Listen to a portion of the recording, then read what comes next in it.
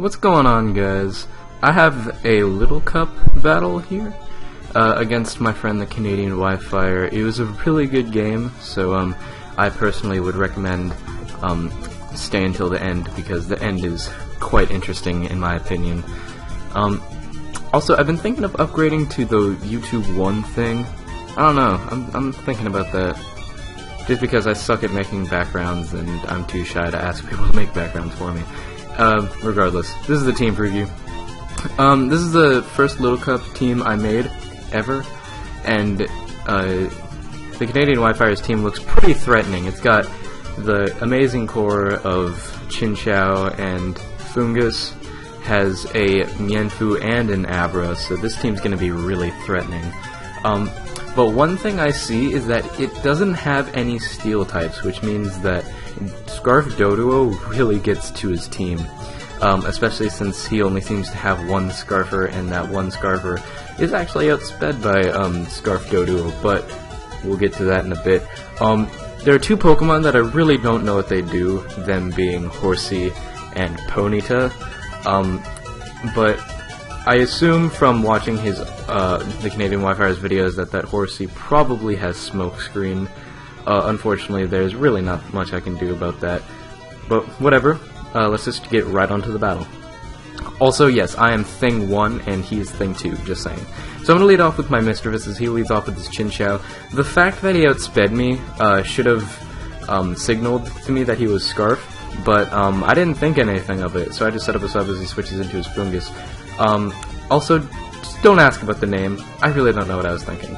But anyway, um, here I'm going to go for a Will-O-Wisp because I thought that he would predict my sub and go for a Giga Drain, but he actually spores, which actually ends up being a good thing um, because it means that the rest of my team um, can stay awake. So I'm gonna switch into my Porygon. I trace his Regenerator, which is nice, so that he doesn't, or so if he like crits me or anything, I can just switch out. Here, I actually set up an Agility, and he clear smogs me right away. So that was funny, but really annoying.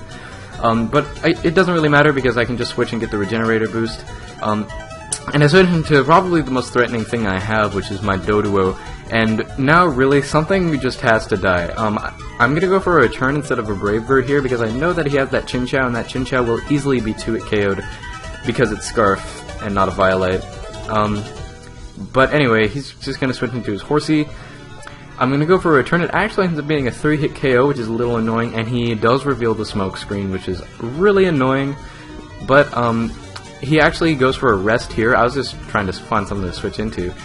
Um, and that's great because it gives me a safe switch into my uh, Abra. Now this set I actually um, mess messed up on uh, the move set, so it actually has both Psychic and Psyshock, but that actually ends up being beneficial because I can see that he's physically defensive and just kill him off with a Psyshock here. He goes into his Abra, an Abra of, an, of his own. That thing's actually really threatening to my team. Um, so I'm just gonna let him kill off this one. Here, he reveals the energy ball. So now I'm like, oh no, what the hell am I gonna do? This thing's gonna destroy my whole team.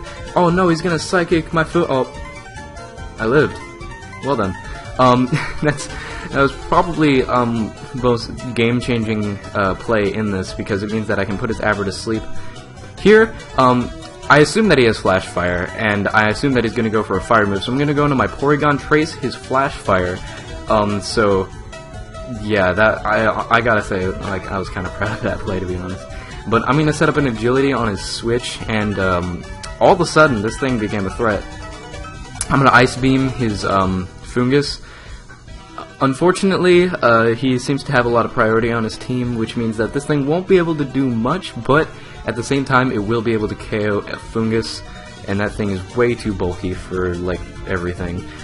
Uh, I'm just gonna stay in and let Porygon die, just to see what kind of set he is, if he's like Scarf or Fake Out or uh, whatever. He is actually Fake Out, but because he wasted his Fake Out, um, I can go into my um, Doduo, 2-hit KO that Abra, bring it down to its sash, and now it's just kind of like taking the Fizzy route and Brave Birding everything, so yeah, that's gonna die. He's gonna go into his Mienfoo, because he has a Ponyta around, I know Foongus won't be doing anything, so I'm just gonna let that die.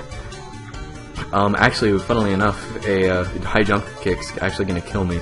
But, still, uh, just gonna go right back into my Doduo and uh, start brave birding some more.